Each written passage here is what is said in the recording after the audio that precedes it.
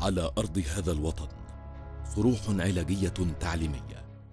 لطالما شكلت قاطرة الخدمات الطبية المميزة على مر الزمن ليس فقط لما تقدمه من خدمات صحية مباشرة لكل مصري ولكن لما تسهم به أيضا لخدمة مجالات التعليم الطبي والتدريب والبحث العلمي لتكون بحق.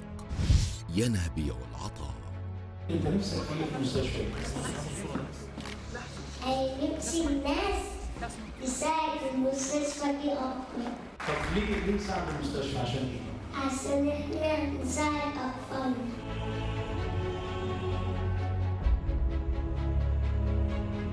إن شاء الله إحنا مش هنتأخر كدوله وكوزاره إن إحنا ندعم أي حاجة محتاجاها الأطفال وشكركم من هنا وفي استجابة سريعة من الدولة المصرية ووزارة التعليم العالي والبحث العلمي.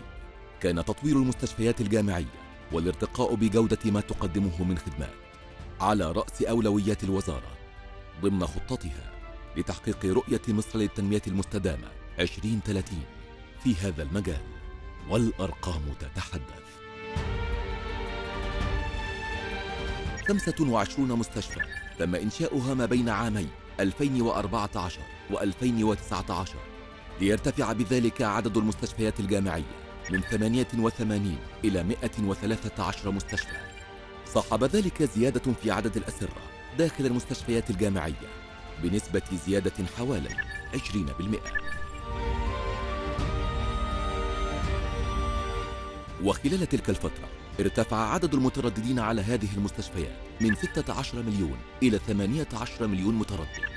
فيما زاد عدد العمليات الجراحية التي تم إجراؤها من 460 ألف إلى 887 ألف عملية بزيادة تقدر ب 93% مواكبة التقدم العلمي والتكنولوجي هدف سعت إليه وزارة التعليم العالي والبحث العلمي. بكل إصرار فكان العمل على تجهيز المستشفيات الجامعية بأحدث الأجهزة الطبية ونظم المعلومات في مختلف التخصصات وإعطائه الأولوية فوق كل اعتبار. فتم إنشاء المعمل المركزي لخدمة مجمع مستشفيات جامعة أسيوط والذي يعد الأحدث في الشرق الأوسط والأكبر بين معامل الجامعات المصرية ويهدف إلى تقديم خدمة متميزة لمرضى الصعيد. وجاري الانتهاء من المعمل المرجعي الأول على مستوى المستشفيات الجامعية ليكون المعمل المرجعي الأول على مستوى إفريقيا والشرق الأوسط في إجراء اختبارات الكفاءة بالتعاون مع منظمة الصحة العالمية ومركز التحكم في الأمراض الأمريكي داخل مستشفيات جامعة عين شمس حيث من المتوقع أن يبدأ تشغيله في الأول من أبريل 2019 وامتدت يد التطوير لتشمل العنايات المركزة الحضانات وغرف العمليات بكافة المستشفيات والتي جرى تجهيزها بأحدث النظم والوسائل العلمية ووفقا لأعلى المعايير العالمية. وزاد عدد أسرة العناية المركزة بنسبة 59% وعدد حضانات الأطفال بنسبة 30% وتكامل دور المستشفيات الجامعية في خدمة المجتمع حيث تعدى مجرد تقديم الخدمات الصحية إلى الطلاب والمواطنين ليشمل المشاركة.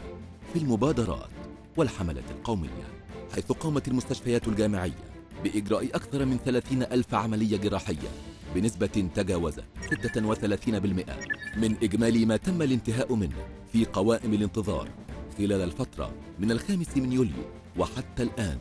وذلك ضمن مبادرة السيد الرئيس عبد الفتاح السيسي رئيس الجمهورية لإنهاء قوائم انتظار مرضى الجراحات والتدخلات الطبية الحرجة بالإضافة إلى المساهمة في حملة 100 مليون صحة للقضاء على فيروس سي والكشف عن الأمراض غير السارية من خلال 142 نقطة مس و22 معملا للتحاليل بالمستشفيات والمعاهد البحثية تشرف عليها غرفة مركزية بالمجلس الأعلى للمستشفيات الجامعية. ولخدمة الأطفال ذوي الاحتياجات الخاصة تمت إضافة أربع وحدات علاجية وتأهيلية متميزة لمركز الأطفال ذوي الاحتياجات الخاصة بكلية الدراسات العليا للطفولة. هذا إلى جانب تعظيم دور تلك المستشفيات في تدريب طلبة كليات الطب الصيدلة التمريض العلاج الطبيعي العلوم الصحية التطبيقية. عبر تزويد معاملها بأحدث الأجهزة التشخيصية والعلاجية. ومصانع الأدوية التعليمية فضلا عن تعزيز مساهمتها في خدمة مجالات البحث العلمي.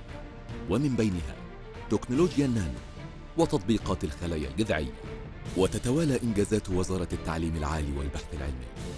في كافة القطاعات ويبقى تطوير المستشفيات الجامعية علامة مضيئة في سبيل بناء الإنسان المصري وتوفير ما يستحقه من خدمات